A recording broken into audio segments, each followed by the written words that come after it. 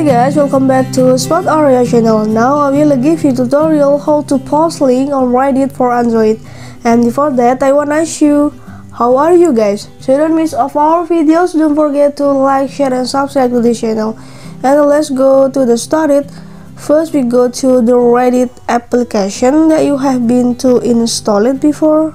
Click on the Reddit and after that you can click the plus symbol in the below and click about the link. Search about how to post to that you want to post it. I want to post for my profile. Click on the my profile. And for the next step you can describe the link here. Click on the describe the link and type that you want to describe for your link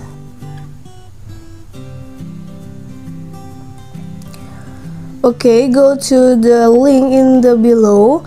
And don't forget to go copy your website that you want to be appear for your links. Copy it. And let's go to the reddit again. And after that you can paste here and then you can click post in the upper of the right corner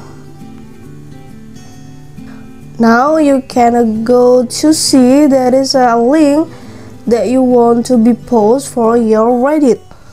And this is a post from your account or your profile here. It's very simple way to do it. This is a tutorial how to post link on reddit for android. I hope this video is useful for you.